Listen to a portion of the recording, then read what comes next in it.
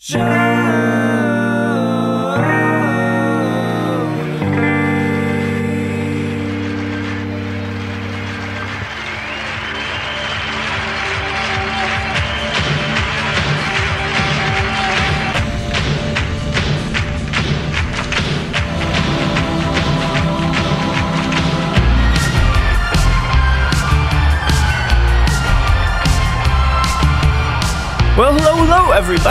to another installment of Show de Vie with Mike G, the show of life, the show of France, the show of cognac, the show of sidecars, and so much more. Today we sit down and chat with the legendary Benedicte Hardy. She is the CEO and the main ambassador for Hardy Cognac, fifth generation in the family of a brand that was started in 1863. We talk about all kinds of things, the history of cognac. This is a really great lesson about how this spirit took off in the States right after the Vietnam War. These are things that I didn't know exactly. Great to dive in and great to sip through some delicious cognacs. Sip along if you can. There's some real special marks there. So, without further ado, I hope you guys enjoy this great chat with Benedicte Hardy.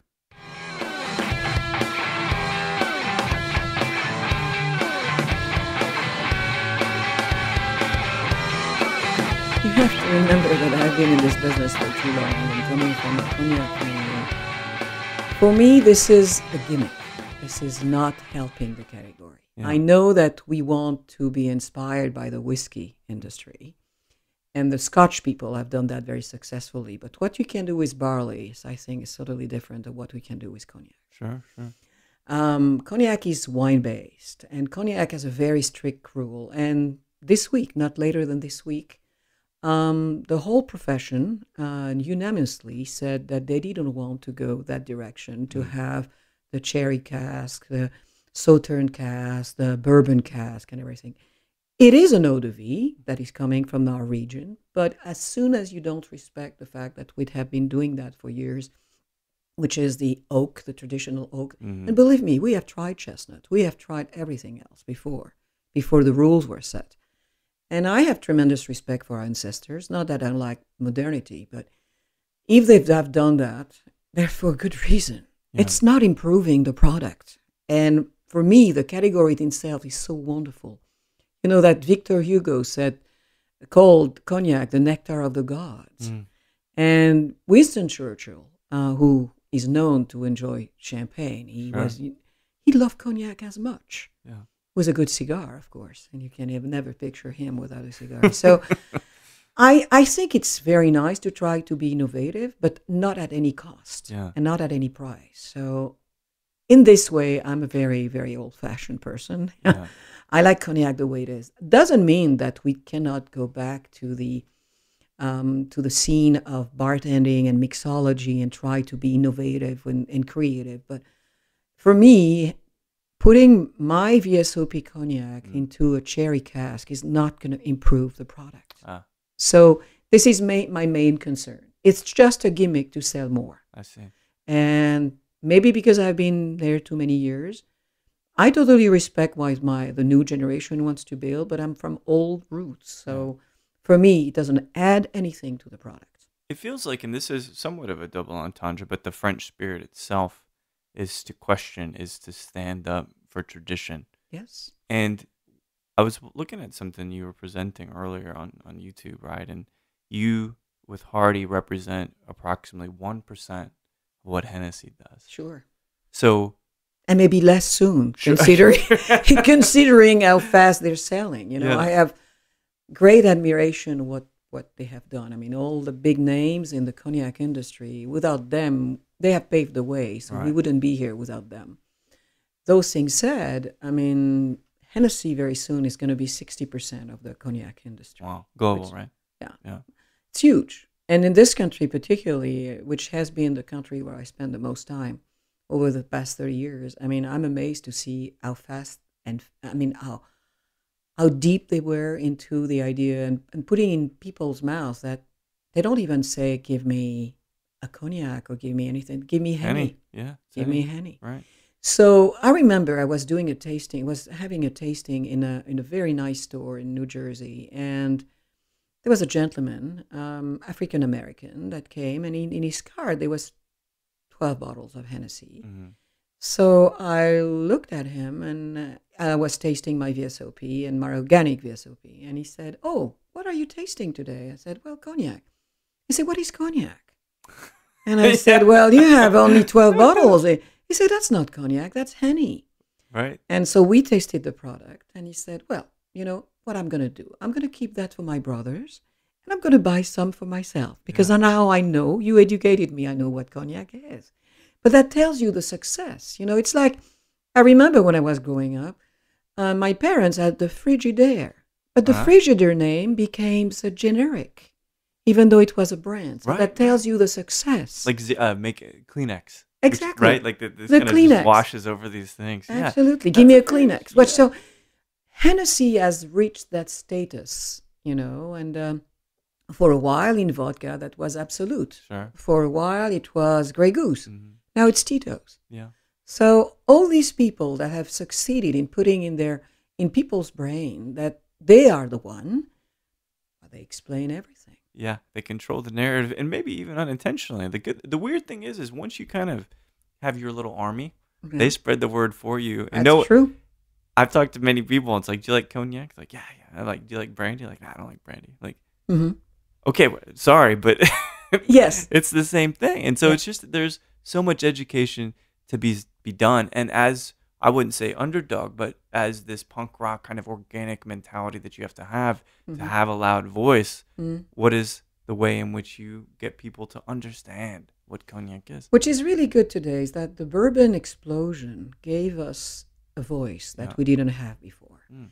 Um, the batch industry, you know, the small batches, it became very, people became enamored with that. Yeah. Suddenly it was a small batch. Pappy Van Winkle, you couldn't get arrested with that 15 years ago. Sure, you're right. Yeah. And now, see, I I mean, I mean, it's amazing. So Yeah. I'm full of hope that because I'm an underdog, of course, and because in spite of uh, all the efforts you put, you need time, money, I mean, and friends Right. uh, uh, to spread the good word for you. Uh, this time is coming. Um, I told everybody, and a long time ago, maybe five years ago, that cognac will be the next thing. The problem with cognac is that it is intimidating for many people what do you think that is? because there is like a mystique around it. How do you drink cognac? Oh, you drink cognac in cold winter uh, time in front of a fireplace with a beautiful dog at your at your knees, and and uh, and it it it it his it has a a kind of magical uh, appeal that sometimes repels some people Ah, and right. say, well, it's a little elastic to me. It's Or it's- maybe pretentious to some extent, right? Absolutely. Yeah, yeah. Absolutely. What people don't know is that before prohibition in your in your um, country, um, it is a fact that cognac was the base of most cocktails. Mhm. The old fashioned of the world, the Sazerac of the world, the French 75 were all made with cognac. So what mixology is doing today with these young bartenders that are full of ideas and, and crazy ideas sometimes, Sure. is putting back something that was on a map much before their parents were born. Mm-hmm. So and grandparents. So I think it's trying it's it still remain it always will be a different category than whiskey that you can produce everywhere. You can build a distillery overnight. In cognac, even though it's the largest vine area planted in France of one appellation, it's still limited. Yeah. Imagine today, considering that the Chinese population really loves cognacs, um, do you imagine that one out of every thousand Chinese starts to um, drink cognac? We won't have enough. Right. So i i it is not an unlimited number of cases that we can produce. So, of course, the price will always remain higher. We are very sensitive to climate changes, uh, and it's a question right now we have because right now most of the grapes we're using are Ugni Blanc, and there are some very serious studies to find hybrids and that will resist the higher heat that we have. All these questions come into play, and so um, I'm very optimistic that cognac can be the next category, but with limited numbers, of course. Right. Otherwise, it will never remain a luxury product. And in my mind, it is still a luxury product. Absolutely. There, there's something commemorative about it. You know, there's for me drinking cognac. It it, it does elevate and transcend a single season, right? Like a lot of people talk, well, it's got warm notes. I'm only going to drink it in a toddy or these kinds of things. Mm. But the crisp, refreshing nature of a sidecar, I mean, That- come on. yes, you know, that, that's that's one of my favorite, favorite things. And it just isn't quite the same without cognac, right? You can use brandy in that. But there seems to be, as we've talked about, a little bit of misunderstanding about the category and something you're teaching me history, which is beautiful. I always want to know.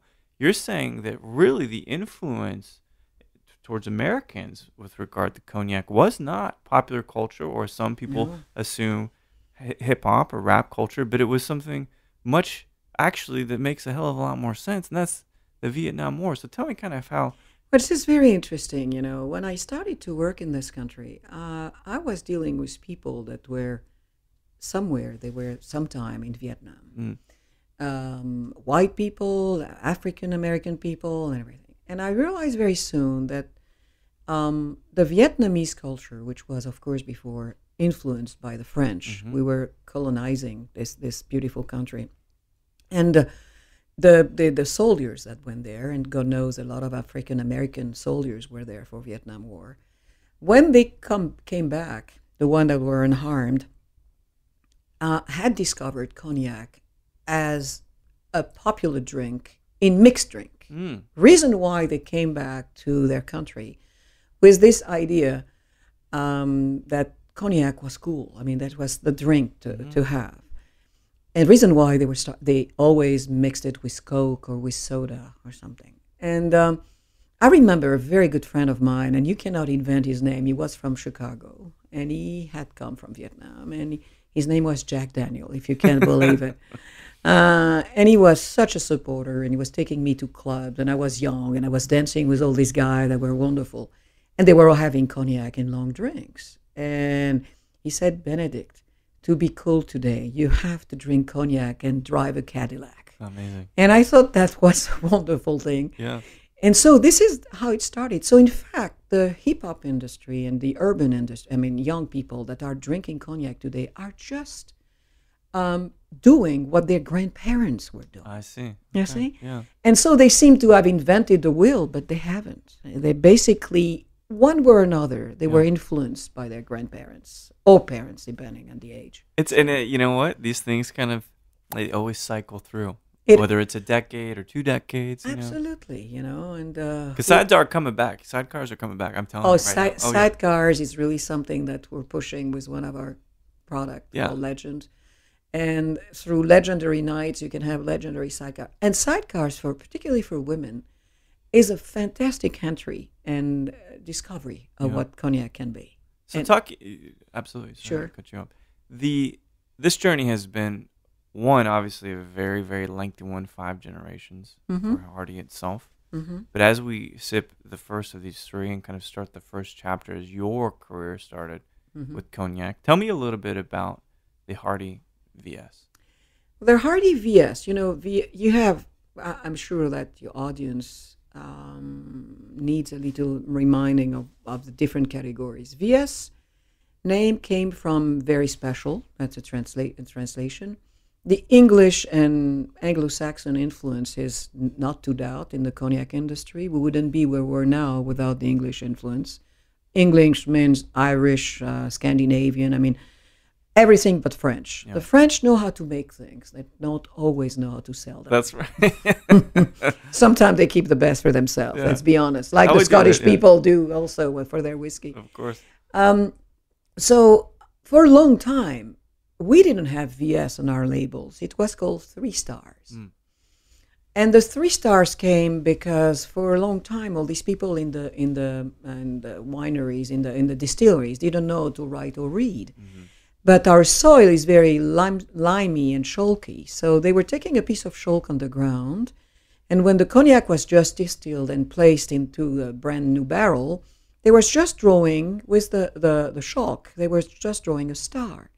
The year after, second star, and the third year, I mean, the second year after that, the three star, I third see. star. And they knew it was time to sell. So for a long time, VS was three star and VSOP was five stars. Mm. Okay.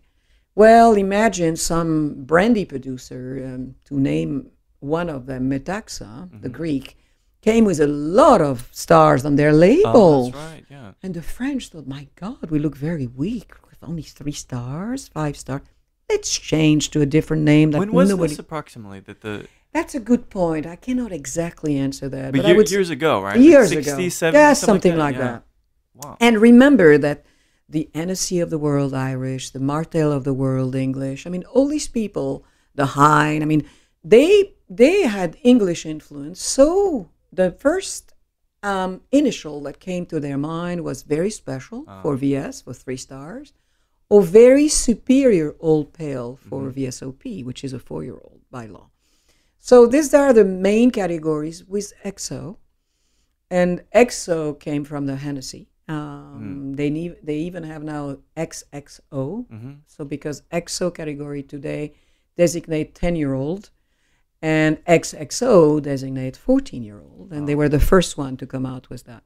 So they created that appellation. Um, my father happened to be a close friend to Killian Hennessy, and at the time when this uh, name XO came around, uh, it was interesting to know that uh, the Fillioux family, that has been the same distiller family for them, they're now at the eighth generation of the Fillioux family, had this wonderful reserve of beautiful eau de vie. They didn't have a name to uh, designate them. They were, of course, older than VSOP. Yeah. So XO, in fact, when at the beginning meant age unknown, which means that the, the blender in his cellar um, is around, is surrounded with amazing products and cherry picks the one that he likes to make the blend. And they needed a name that would be much better than age unknown. Mm-hmm. So XO meant at the beginning age unknown for X years, I you see. know. And it became for everybody extra old ah. because that was the translation that was easy for everybody. But at the beginning, it was really more like age unknown. So basically, with Napoleon, which was also a category that was invented by Courvoisier, that Mhm. uh, claim, and rightfully so, that they were the cognac that Napoleon I was drinking, um, particularly to soothe his uh, stomach ache because he had an ulcer before he turned out to cancer. Mhm. Uh, so that's why you have on their label on Courvoisier, you have this beautiful hat, Napoleon I hat see. on that. So Napoleon today remained a six-year-old. Few houses have kept Napoleon. We had a Napoleon as Hardy for a long time. My father was an admirer of Napoleon. Um, but we switched to what we call legend today, which is the in-between category for us Mm. between VSOP and XO. So basically, that are the categories. So the VS that you are tasting, Mike, is not a two-year-old, which it should be by law, it's a three-year-old. So I'm not going to say and say, oh, that's an eight or ten-year-old. It would be uh, not true. Yeah. But it's a three-year-old because our blender, Michael Bouilly, his name is, um, Michael insists that before three years, the cognac has not reached its pie. I mean, its, its, its best quality. So we cherry pick four of the best districts in the cognac uh, in, in, at Hardy. We only use, um, um, uh, of course, Grand Champagne. Petit Champagne, Mhm. Borderie, and Fin Bois. Wow. So in this one, you have the four. After that, in some of our VSOPs, we really love the Fine Champagne style, which is the blend of only Grande and Petite. It is true for our VSOP and it is true for our XO and our 25 year old. And over 25 years of age, it's still there are still blends, but we only use Grand Champagne cognac because we like the flavors, we like the bouquet, Mhm. we like we like you know it's a little masculine when it's young. Yeah. When it's blended, that's why it's blended so nicely with other. With that's the thing about Borderie too is that for me it's just got so much texture and guttural quality. It does, right, like a low end to like a bass, as I point to a bass guitar in the corner. That's kind of how it reads for me. Um, Borderie is said to bring a femininity to the blends and also floral notes like violet. Yeah, Oh, that's yeah. what they said. So there are some of these products that I like very much up to 30 years of age. Mm. And after that, you lose that.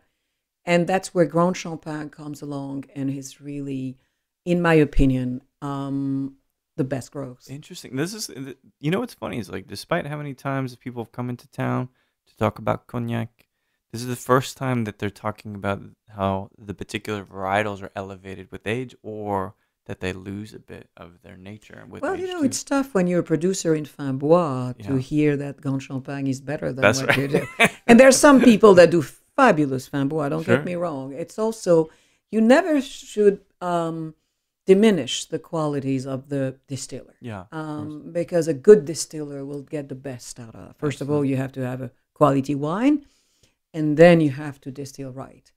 And the beautiful, the some of these distillers are so gifted. You Mhm, know, there's no course. question. Well, it's the way that they can paint a picture. It's Mm. being a true maestro, sure, right? Like a chef. That's It's- exactly right. Yeah, it- it's exactly like a that's chef, definitely like or a pastry chef, or a painter. Mhm, You have a yeah, palette, and you select the best colors, and Absolutely.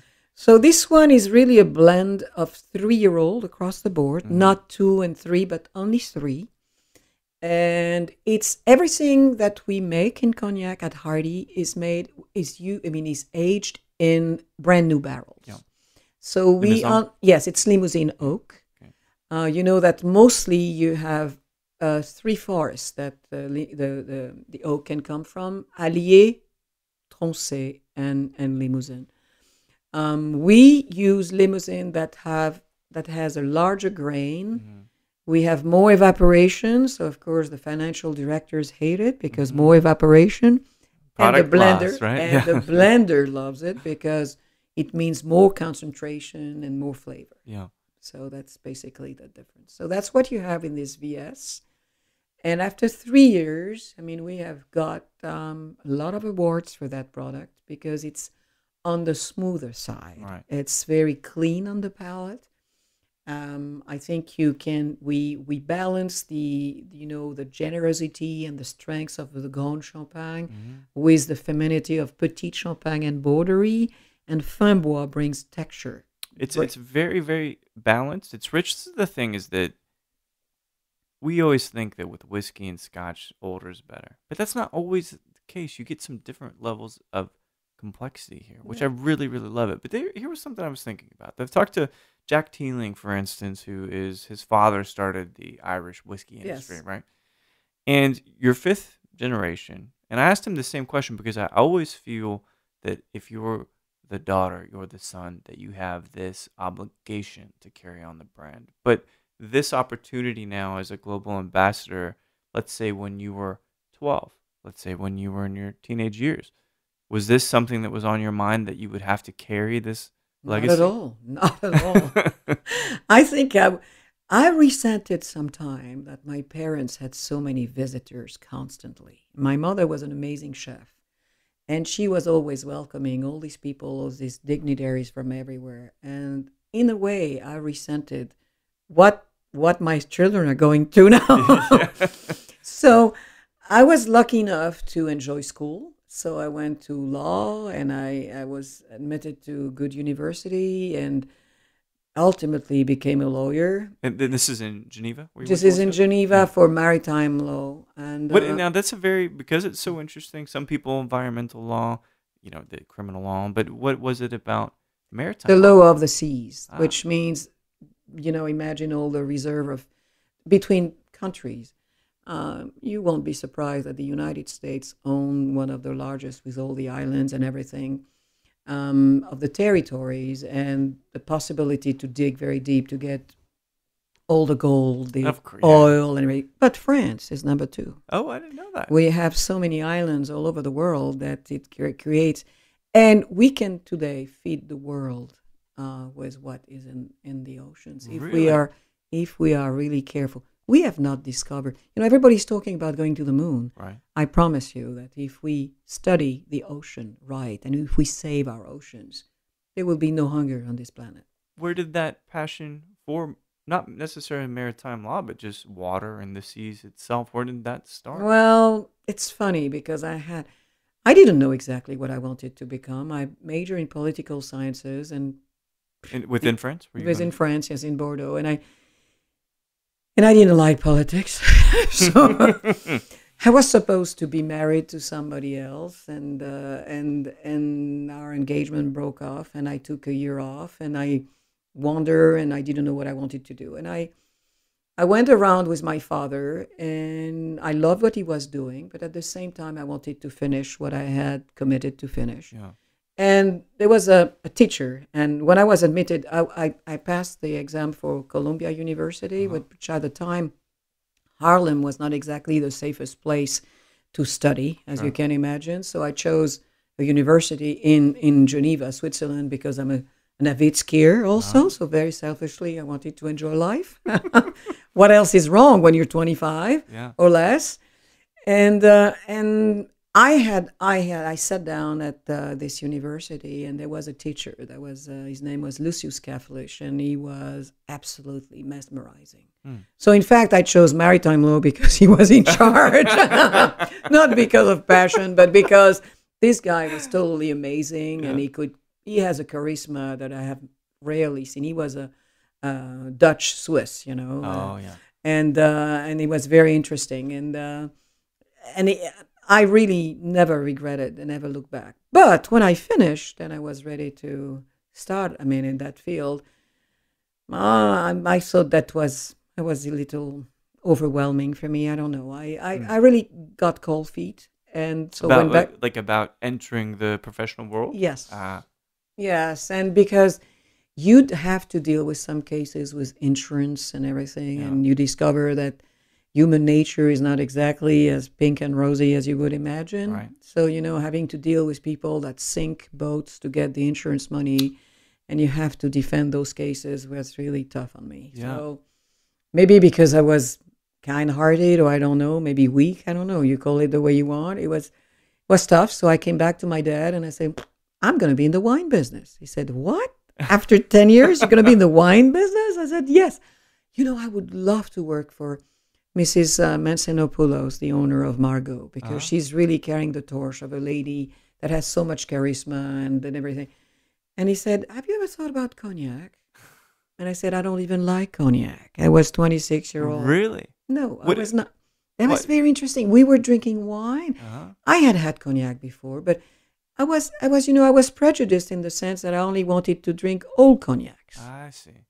So I said, I'm. problem to have. No, I know, I know. And so I said, he said, well, if I teach you, um, and he became my mentor. And so I said, well, but I have to cherry pick. I don't want to work in Japan. I don't want because at that time, 30 years ago, a lady's voice could not be heard. I mean, Right. it was very difficult.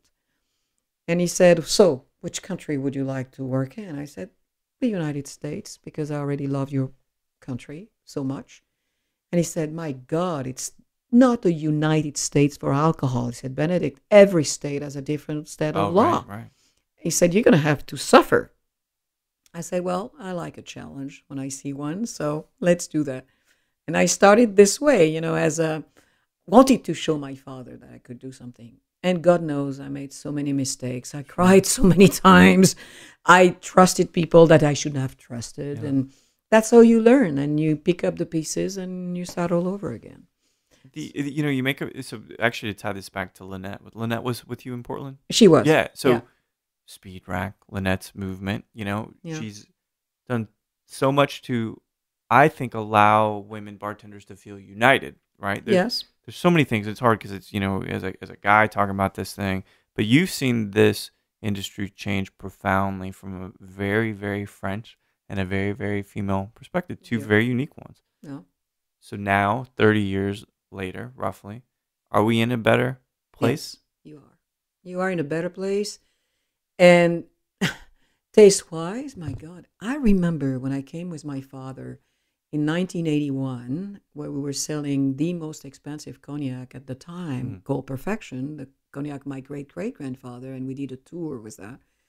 People were drinking milk with their was their uh, with their meal. What? Oh, Yeah. that's so strange. Yeah. Yeah, telling you. Uh, not everybody, of course, but some. And after that, they went to White Zinfandel, Oh, yeah. slightly Oh, yeah. better. Uh, Coke, of course, Sure. was, uh, still very prominent.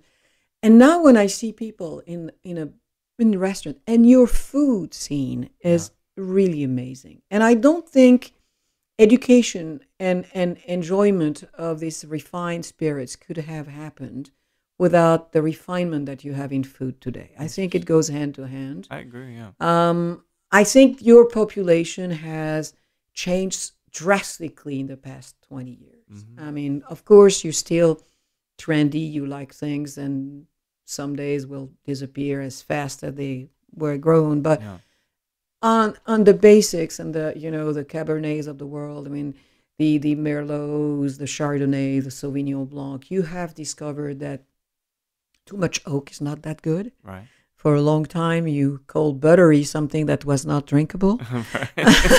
but you learned you learned very fast and that's what i like this country so much and you're not afraid of asking questions which Mhm. is something europeans don't do you assume that the french know about cognac no they don't know more than you do it's it's actually really interesting. I would I would- I always assume when I go to Paris Yeah. that everybody's gonna be like, oh yeah, let's drink some Calvados. People they're like, oh, we don't really have any. I'm like, but this is the nat yeah. one of the national spirits. yeah but you have to remember that 96% of cognac is exported That's right. Yeah, that's a great point. People people drink more Armagnac, I guess, in France. Uh, Calvados was very popular in the 60s and 70s. You know, when you finished your coffee, you were just putting a little touch of Calvados or Armagnac or cognac into your warm cup. that is not a bad. Living. No, that's that is nice. not. That's pretty nice. So, um, so even some people, you know, don't. I have. I know some people in cognac. I mean, in France, I don't know cognac is a city. That's really And Cognac is the sister city of a of a Texas city. You know that Denison, Texas. because of the vines.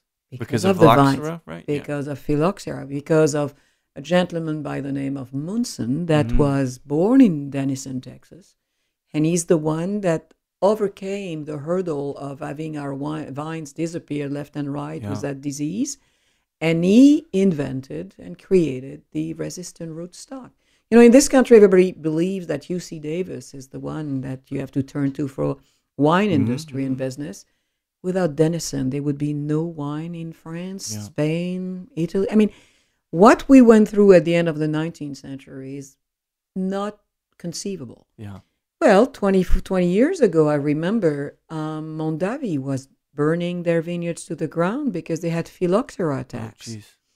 and now it's, I mean, poor Australia Mm. is if you if you look online, you'll see that they have some boats of uh, phylloxera themselves. Oh wow. So it's not something that we have a cure for, except burning the vineyards to the ground. And God knows Australia doesn't need any more fire Yeah. than they do now have now.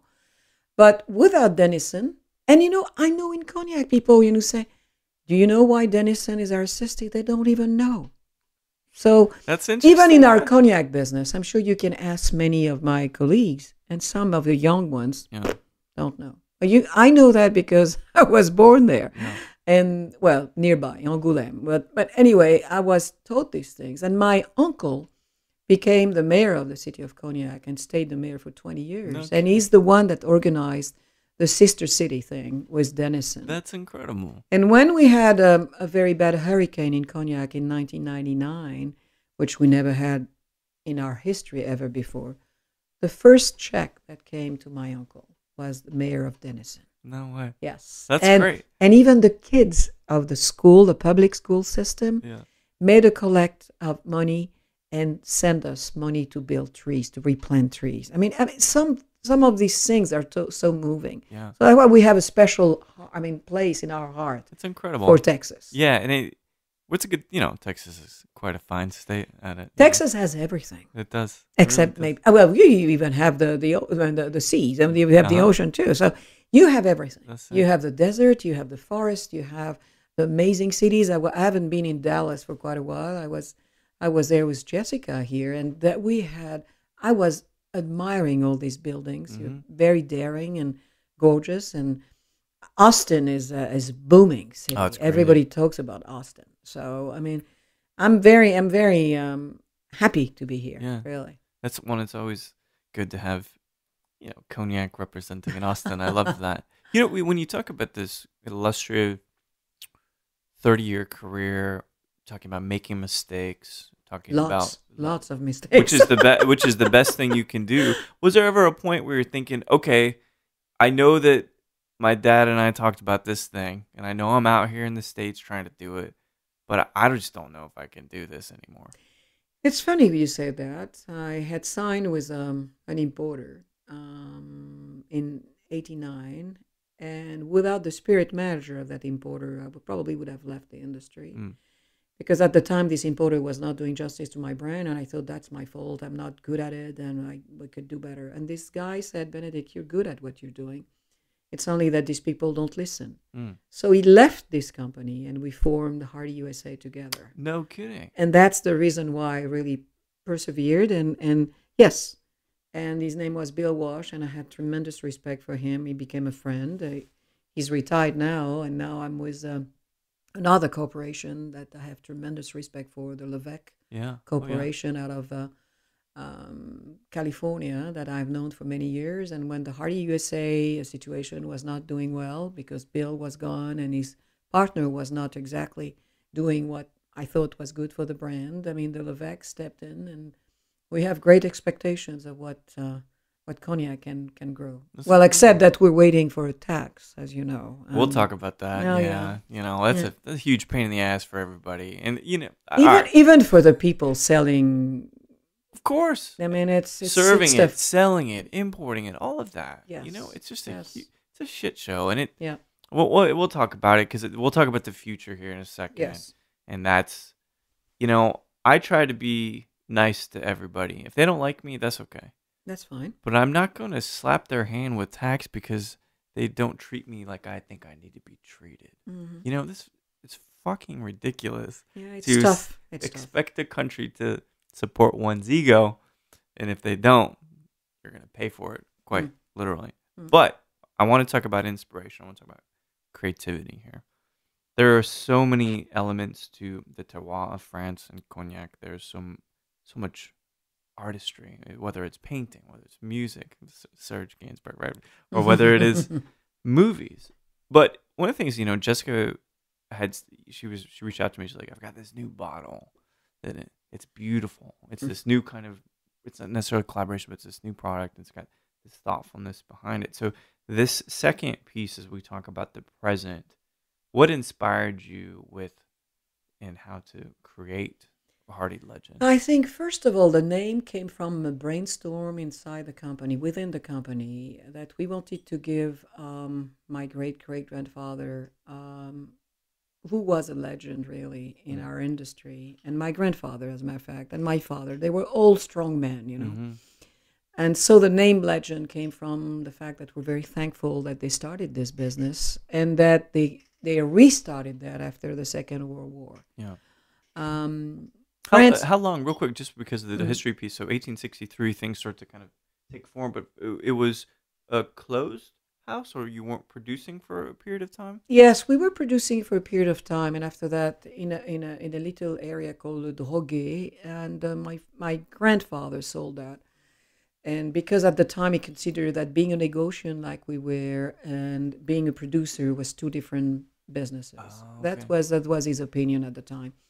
Um, well, you have to understand that really, uh, the First World War, I was lucky that my grandfather came back unharmed and Mm. started to collect for himself. This is the reason why the third cognac that you will have, uh, it dates back, back from his collection, private collection.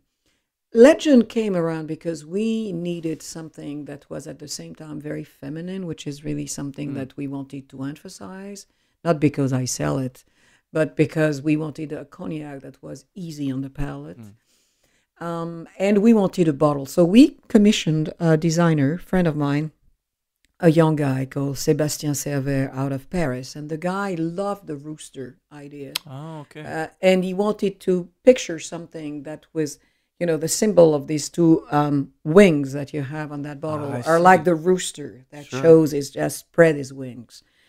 So that's how it came around. And every time we present this bottle, everybody says, "Oh my God, it is so Yeah. Beautiful." And it's tough to get everybody's approval, but I must say that this bottle have gained a lot of uh, uh, success and, and support. and you had this great showing for the competition in Portland too. Yes. So how does how does that feel? You know, because you have these ideas. Maybe you're sitting in the office. Maybe you're sitting on the beach. I don't know, but Yeah, that happens. Not very often, but that does happen. but you think like, what's what's next? What what else? What how can we share this? well, I was thing? inspired by of course, my my great competitors. Um, Remy has a beautiful product called 1738, Oh, right, right. uh, which is exactly that. This is the in between category VSOP and XO. So for people that don't want to spend $150 or more or less for a bottle of XO, it's in between um, a step above VSOP and just a step underneath XO. So we wanted something that would be a little more affordable, but still will give, will have many uses, Mhm. including cocktails. And so the name Legend came with a, a campaign that Levecke embraced and built, Legendary Nights Yeah. and that's how we, we built it and we decided that oregon would be a nice um, launching uh, i would say of that concept and we had six of these uh, successful bartenders and mixologists that came and the lady lauren who who won is from washington d.c and she's coming to visit us that was the prize was uh, uh, this was uh, a prize for two and so she's coming at the end of june to visit us. And for me, that was really important. First of all, she's an African American lady, which was totally, uh, of course, the selection was not made on that criteria, but it was uh, very nice because Yeah. being from two minorities, you know, being a woman and for African American and to be that successful. And she was a nurse at the Mm. beginning. Wow. Go figure. And she really created a very interesting cocktail. And so I'm happy to have her discover with us and our people how we make cognac, how we age it, and to see what, what we all do. And it's not, not only Hardy. I mean, a lot of people now are very creative with cognac. And we go back to the roots, as I told you before the prohibition. A lot of cocktails were made with that. Yeah. So, and you see not only cognac, but but a lot of other um, eau de vie liqueurs are back. You know, Suze had disappeared from the face sure. of the earth. You have Dubonnet. yeah, back, right? Dubonnet, Dolin. I mean, Uh-huh. the the wonderful vermouth. I mean, you name it. I mean, you have so many, and they're beautiful. Even Pineau that we do, Oh, yes. the Pineau Pineau Des Champs, beautiful which is stuff. a terrible name, but if you want you feel drink. Lillet, look at the success of Lillet. I mean, and uh, so the mixology world is really giving us a hand in that way. So for Legend, that was really the idea. And in Legend, you have Petite Champagne, Mhm. um, and then you have Borderie and Fin Bois, the Mm. three, the three ones. Uh, again, the youngest in the blend is four years, but the oldest is 12. So not everything like the VS is three, but it's a blend of different vies of different ages. And this is really the creation of Michael, our blender. And when we sat down and tasted the result, I think we were thrilled that he would be such a good quality to offer to uh, our customers. It's. I like scotch. Mhm. I like bourbon, mezcal. These are all very, very different categories. Mhm. But there's something still so special about cognac that if you taste the right sip at the right time, Mhm. there's really nothing more beautiful than that. Thank you. Do you Mm. feel it? Does it? Tra- it's two things. One thing that I thought, and I think this is a really cool tip, and I had never heard this before. We talk about boisé, and we talk about caramel coloring and stuff Mhm. like that. You said there's one way to actually discern if there's caramel additive in the cognac. Tell, I, I think that this is the first time I heard this. This was a super cool thing. Um, that was something that my old blender told me. Uh, he said, You just put a drop in your hands. If your hands stick, there's caramel. If they don't, there is none. Yeah, so. And you know, there's nothing wrong in using boisé as long as it's allowed by law and everything. I know that our blender, the fact that he buys close to 800 new barrels a year, Mm, bring us enough color. I mean, if you come and visit us, which I hope you will, Mm. um, Mike.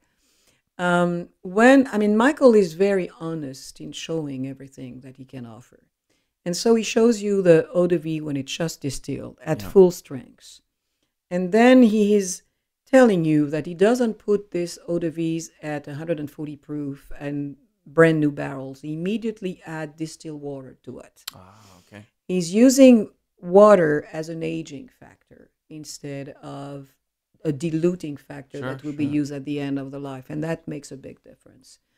So not everybody has the room the money um, not that we're that rich no don't get me wrong but but but it's true that we invested in the right things and we don't cut corners. Yeah. and so um, caramel in the future, I mean, as we will talk about the future, you know that on food now you have labels telling you what is in the food, Mhm. but it's coming for for wine and spirits. It's Well, coming. I, I hope so. And, and again, I it's just aesthetics, you know. Yeah, But I can No, because something's they- dark, you know, it doesn't. you know, n- no, and the fact that people think that because it's dark, it's old. right?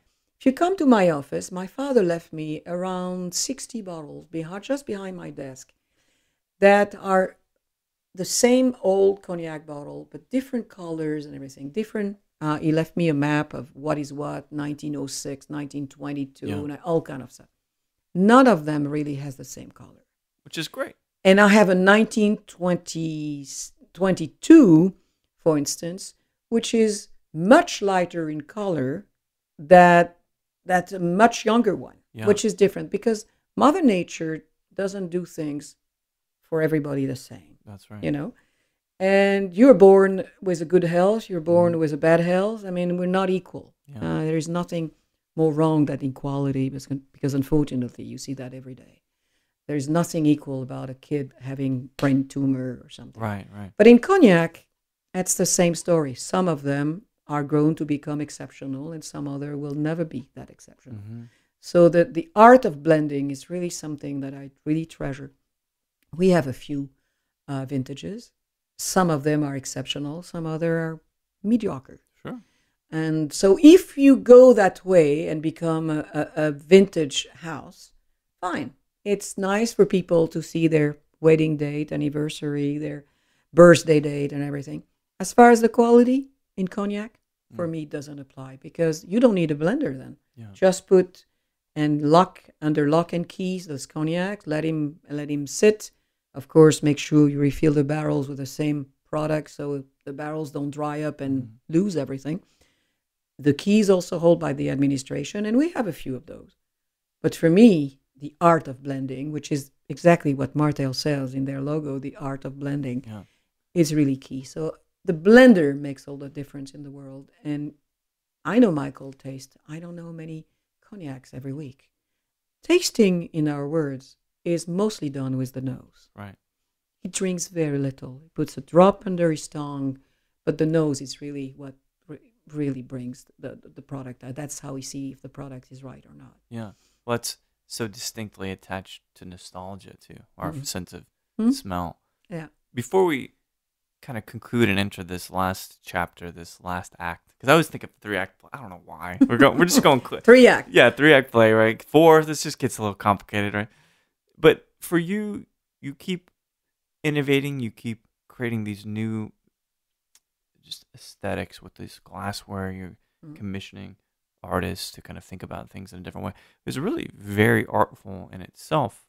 But in terms of inspiration for you, what are some things that really encourage you to think differently or that you can go to to push the brand forward? Um, let's say that my father started that with the help of um, two gentlemen from New York that came and visited us in 1980 and was were sent at the big. They wanted at the beginning to put a champagne in a very artistically made crystal bottle, which Mhm, of course mhm. is not allowed by the champagne and everything. They could have the empty bottle of uh, uh, the empty glass or crystal, but they couldn't put, of course, the champagne in that and at the time, they were visiting Henriot uh, Champagne Company, and the Henriot family was a friend of my dad. And they said to him, "No, we're not to them. We cannot do the champagne project with you, but you should select a very old cognac to do Oh, that. okay. Why don't you go and visit um, Jacques Hardy, my father, and ask him to taste Grandpa Reserve, which was the name of my great great grandfather." special reserve. So when they showed up at my father's doorstep and told him Mr. Henriot sent us and this is what we would like to taste and this is the project we have, my father said okay. And we tasted this two person. Their name was uh, uh, Sam Aaron and, and Mark Platt, and they were from, if I'm not mistaken, Sherry-Lehmann Mm. from uh, New York. And they were in love with this product, but of course, Grand Pas Reserve was not exactly the right name, and because the only word that came to their mouth was perfect. It's perfect. It's perfect. My father named it perfection. Ah, But in order to, they already had a, a beautiful decanter in mind with Daum Crystal Company.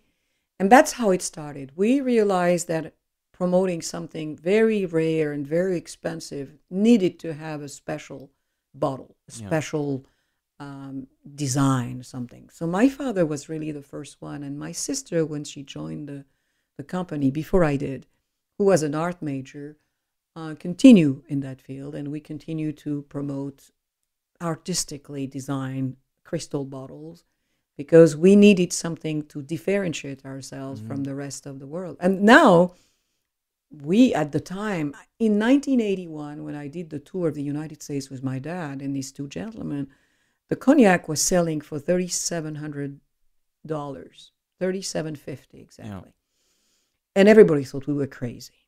Now, when you see when you look at those prices, I mean, piece of cake. I mean, how much is Scotch whiskey today Right, compared yeah. to that? But we persevered and we we continued to promote things that nobody else was doing. So we continued with Daum Crystal Factory, and my dream was to work with Lalique. And Ah, this is something that I did at the recently around eight years ago. It took me a while to convince. First of all, the Lalique family didn't want to have anything but perfume in their in their bottles. Oh, interesting. I didn't know that. Um, I don't know if Mrs. Lalique had had an alcohol problem or any kind, but she was really reluctant to use that. Uh, there was a, a cognac house that did that before us, Chateau Paulet, um, but they, did, they didn't have enough audience at the time to really make it a success. But they were the first one, and we were only the second one. And uh, and Courvoisier had one as well. But we basically today are the only one dealing with Lalique and with his new owner, Silvio Denz, a very, very successful entrepreneur and charming man, Mm. Swiss from Switzerland. And he was in the perfume business, sold his uh, chain of Perfumania perfume uh, businesses and invested in, in Lalique. And since he has done that, I mean, he has created so many jobs and so many dreams come true. Um, and it's an honor for me to work with him. So we decided to go with uh, something very unique. We did the five elements with Daum, hmm and we created the four seasons with uh, Lalique. So we did uh, spring, uh, summer, and autumn, which is the most recent one, and winter will come next winter Interesting. uh, with different colors. And really, what we want to emphasize is, the, of course, the quality of the products, because those cognacs date back for the youngest um, 1939, and for the oldest 1918, when my grandfather came back from the First World War unharmed. That's incredible. So those batches were put together, and we were kept, of course, in the cellar. And uh, Michael, our blender, uh, made the four season at once, in the sense that in using different proportions of these different eau de vies, he made the different style more floral for for spring, more honey and apricot for for uh, uh, summer, more cinnamon and orange rind for uh, autumn, and more wood and structure and, and earthiness to winter. That's incredible. So they're all different. Yeah. And when you come and visit us, it is our pride and joy to make you sit down with us and taste them side by side. I mean, this sounds like a horrible thing. they're very, very tough, very tough. And it's funny to see that people, according to their knowledge, according to their taste and what they drink, have different opinion. Yeah. Mine favorite is autumn, but I had a discussion with a friend of mine in Las Vegas, which is a good market for us for luxury, uh, probably particularly the MGM Corporation. Mhm. Uh, and and this one loved the summer. Huh. And right now there is a, a casino in in California in San Bernardino that is doing the most expensive um, cocktail in using printemps, the spring, in it. So everything's possible. It's it's just a matter of taste, and your taste is based upon your knowledge and what you like. So Yeah. my truth is not your truth, which is really the m- most beautiful thing Absolutely. about it. Our journeys are different. Yes. They are littered with other kinds of suffering, but also other kinds of opportunities and all of that, you know. Yes. So this last chapter Yes. is this aforementioned autumn, Yeah. which is I mean, this is incredible. 1939 is the youngest Yes, the- 1919 is the Ni- oldest? Is that correct? 19, 1918. 18, okay. Um, at the time, um, he was engaged. I'm not sure he was already married. My my grandfather, but he was came, he came back from the war, from the first war, which was well, there is no good war, but Right.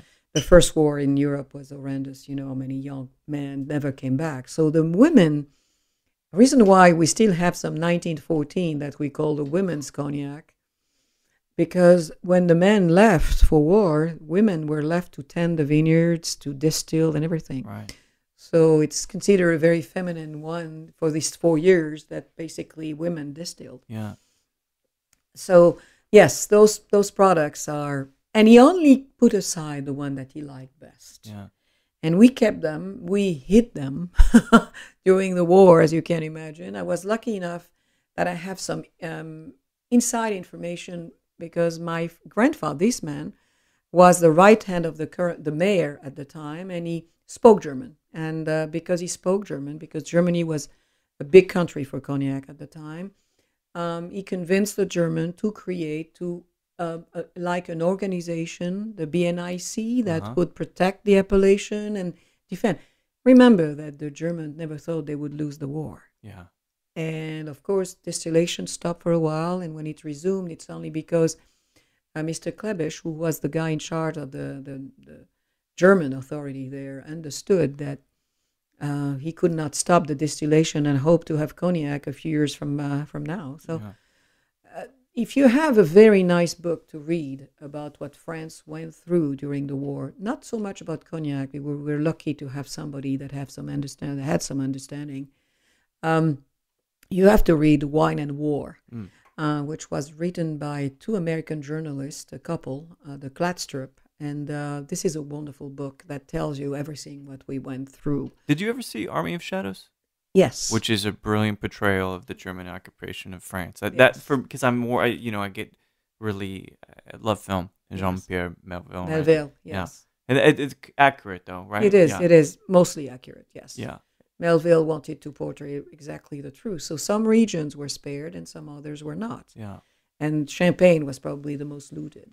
That's I, I had no idea. Well, even though Hitler didn't drink much, he didn't drink at all, barely, he had a hatred for all the um, German companies, German names, and families that left Germany to settle Mm. in the Champagne region. The Bollinger, the Taittinger, the, uh, which was the real pronounced the way, the German way, the Deutsch. I mean, all these people, and he considered because he was the superior race, what were they doing with those French people? Yeah. He never understood the terroir, he never understood these things. So looting them was a revenge. I see. You Well, see? ego again. Yeah. You know what? And this is the perfect time to talk about tariffs. you talk about a leader of a country, no names, of course, but No. really having been offended by another country and taking it out on them.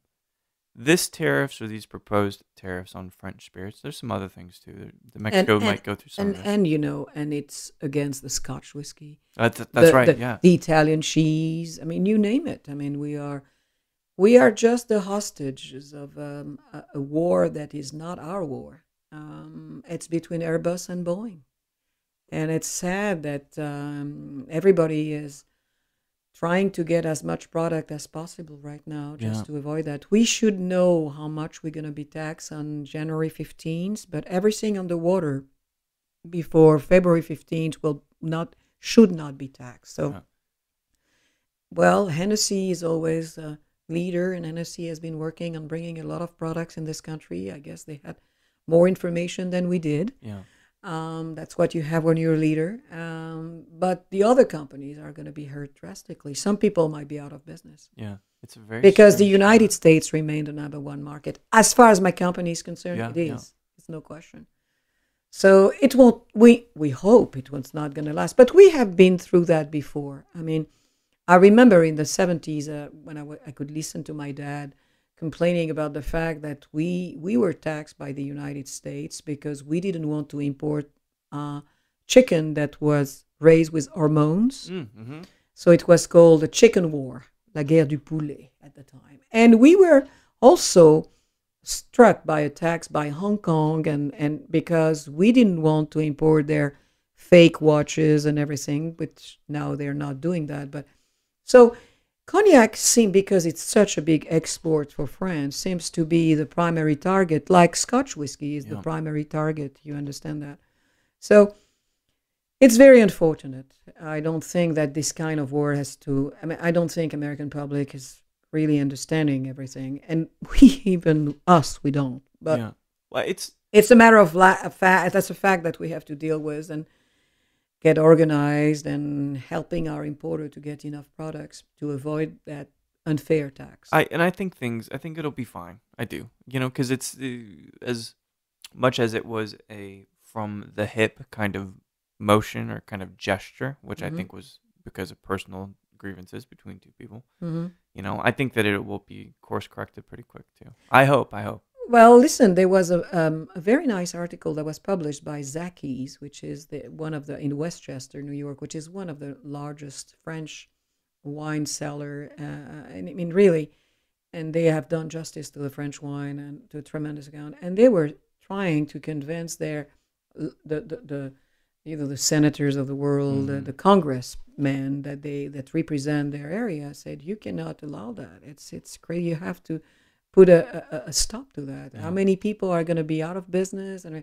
so hopefully it won't last. Yeah. Um, and it's always unfortunate, but we, you know, cognac will recover. Yeah. right. Some smaller company might be hurt. That's Yeah. no question. I mean, i there is always damages. There was always what we call collateral damage. Right.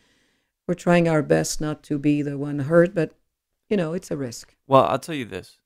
You know, we s- sipped this autumn blend from ages ago. Mhm. And if only we could sit down at the table and negotiate when we're drinking cognac. that would help. you know what I mean? Yeah, that would change like, everything. Okay, okay, I, fine, Yes. fine, I agree. Like this is gonna change, and the power of this spirit and this particular sip specifically, it's so balanced and it it pulls you to these different places. You know, I've, I've had the privilege of sipping so many amazing spirits, but trying something of this age, even if I didn't know it was this old, it takes you into those cellars. It It takes is you it's into a the part war. of history. it, you it know? I mean, feels like that, you know? yes, it's a part of history. It's very privileged. Well, you have to understand that you're tasting something that only 400 people will be able to buy in the world. Oh wow. There were only 400 units each. Well, Yeah. we we did. He had made enough for 500 liters of each season, and of course, everything else is used to taste Yeah. customers and do tastings and everything. But um, again, uh, you cannot pretend that it's that old and oh, and i have unlimited numbers. That wouldn't be Yeah. right to the category and right to the story of the house. So Mm. it's rare, and that's really something that we we will continue because we're lucky enough to have old reserves, Yeah. and we want to like these projects. We want to make those projects with very very interesting names. I have a a, a project with an Italian. Um, I'm- very open. I'm very European this way, and I, I like people that are creative, Yes. that are daring, and then that's what art comes into play. That's you know, incredible. There is a very huge intersection between art and artistry here. Yes. The distillation and the Mm. creation of these vessels. I strongly believe our distillers are artists. Yeah. Oh yeah. I mean, they they do things right. And you have now a lot of ladies. When I started in this business, ladies were very rare. You Yeah. know, you had Mrs. Hériard Dubreuil for Remy, who was exceptional. Still is. She's still alive, poor lady. Uh, but um, uh, you had Mrs. Cointreau. You had, I mean, amazing. You know, of course, Veuve Clicquot and Yeah. all these people that have been in our industry. But women were a minority. Now it's not as true. And in as far as people doing basically making cognac, a lot of women now are are really coming to play, and that- that's that's that's a wonderful news. it's incredible for me because it's a difference of insight, a difference of emotion, a difference of Sure, the way intuition, that we're made. Intuition. absolutely, Mhm. absolutely. That's all it is. So I've got two questions left for you. You know, I'm really happy that you're in Texas doing. You were, were in Dallas last night, despite it snowing in Dallas, which I don't know how you caught that one. But and then you're in Austin tomorrow. Are you doing San Antonio? You guys? Yes, Antonio? we're going to San Antonio, and before that, we'll be in Houston. What can we expect? There's a great event tomorrow at the Fairmont. Is that right? that Fairmont, yes. that you're doing. What what's an event like with Benedicte? Well, it's very simple. Um, most of the time, people ask me questions. Um, I'm amazed by the amount of curiosity that there Yeah. is behind, because as I told you, cognac was very poorly explained by many of my by my competition, maybe. So I'm I'm not saying that I have the ultimate science of everything, but I tell the story like I just told you Yeah. and people fall in love or don't fall in love with a product. It's just a matter of taste buds. Mm-hmm. But also the fact that they understand better when it comes from. I think that's that's really what the event is all about. So we taste people. At the same time, we explain what cognac can be so wonderful in cocktails, Yeah. which is for most of them. Uh, yesterday night we were at that uh, uh, very nice place, uh, Club Corp, and uh, yes, Down Club, Tower Club. Oh, Tower sorry, Club. Tower Club. Yeah. Um, uh, sorry, and beautiful lady there, Keisha, and she knows cognac inside and out, Mm. and it's such an honor to be there and and taste people. And uh, we tasted. She had a party of ninety people, and Wow. out of them, they stopped by. They were looking at our bottles, and I, I said, "You should have a Sazerac with cognac." And they looked at me like, "Really?" And one of the guys said, "Okay, give me one." So we poured our some of our VS in it, and he said, "That's amazing. Yeah, it's great. That that made my evening." Yeah, You know, that's what that's one of those cheat codes Yes. that that you do a split base with a Yes. Sazerac or just use entirely brand, you know, Yes. cognac. It, it's an amazing thing. So that's that's what you can expect when you when you see me. And uh, if you need some information on how cognac is made, how we age it, and about our blender, and about what how we see the future of cognac, I mean, I'm trying to give my vision. I mean, it's I'm hoping my daughter will be the sixth generation. She doesn't know yet. She's only 21, and Spoiler she's alert, she's a rebel. I mean, at the, at her age, I had no clue that I Yeah. would join the business. So how can I ask her to do that? So that's that's that's basically what you can see when we can do these tastings. Wonderful. C'est magnifique. Oh, merci. So the last question I have for you, we've been sipping, you know, again, I'm biased. I really love cognac. I love the category, the flavors are really, they just, they hit me hmm in a very, very heartfelt way. You know, Yeah. not everything does that. I, Mhm. I love bourbon, but it, it, it seldom does it feel as The harmonious. depths, and, the that's right. That's right. That's right. Yeah. So let's say you're sipping this autumn release hmm with anybody, living or deceased. Who would you love to just sit down, have a conversation with, and sip this beautiful cognac? There's so many great people that I like. Um, General de Gaulle is Mm. probably one, and his best and worst enemy, Churchill. I have tremendous um, uh, respect for Churchill. I think he was the greatest man Yeah. of the 20th century, in my opinion. Um, the way he, um I was I was amazed by the movie The Darkest Hour. Um, yeah, Gary Oldman's great. my yeah. God, I think uh, the actor was absolutely Mhm. mesmerizing, and the fact that Churchill really kept his country, I mean, and took it, I mean, and saved, um, really. Yeah. thing. So Churchill will, will probably be my choice. And my father, who is deceased, I would like him to taste that again with me. Yeah. You guys got to sip cognac together? Yeah. yes, we did. Many times. But he was a Scotch drinker. Can you believe it? Are you yes. kidding me? No, he was. He, we were the first importer of Highland Park. Are you kidding me? No, but No we were so small that they left us. Uh, but we still like it. yeah, Yeah. that's incredible. Benedicte, it's been just a pleasure, and never before have I been able to understand the world of cognac in this way through It's this because lens. it's a horse's mouth, as my father would have said. Yeah. It's coming from people born there. yeah, it's incredible, and I feel it. I feel it in this room with you. I feel it through every sip of these bottles, and it's just been a pleasure. Thank you so much for doing this, You're welcome. Thank you, Mike. and we will, you know, we're gonna see more of you. We're gonna see more. Of Yeah, Jessica. I, I hope. I haven't Yeah. been in Texas for quite a while. It's only because Jessica is now with me and Yeah. she's pushing me to do things that I'm happy. You know, it's difficult for but the most difficult thing for me is to find enough time for everybody. Yeah, You live in a continent. Everybody, so people say, "Why do you spend so much time in the United States?" I said, "Because you put nearly two friends in Texas." That's right. Does that ring a bell? So, I'm when I'm in New Jersey, I'm not in California. You know, you have, and they say, "Oh, you're always in the United States." Well, United States is huge. yeah, So you want you want to give justice to everybody. And, I, and I appreciate you. You know, it's a Sunday afternoon.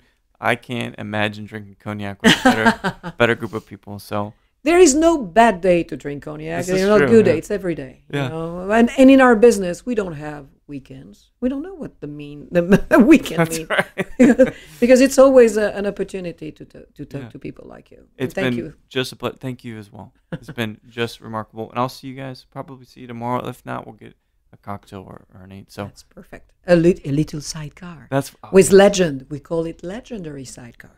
Sidecardito. Sidecarito. That's the Spanish influence in you, the Mexican influence. exactly. Thanks so much. We'll talk soon. Yeah. Thank you. Thank you, Mike. Well, there we have it. What do you guys think? Benedicte Hardy of Hardy Cognac, five generations. This is some delicious cognac. She doesn't use caramel coloring. There's some other things that people use in the production of cognac. It's interesting, you know, we're about purity and bourbon, but I think that level of attention and that passion for French spirits is not really thriving in the States. This is something I'm really kind of personally taking as an initiative to push these spirits Calvados, Cognac, Armagnac, the Magic 3. So if you do get a chance specifically to try this Hardy Legend 1863 Cognac is quite delicious, very deep and rich and wonderful in a sidecar. She's, and this isn't marketing speak, it really just tastes pretty damn good in a sidecar.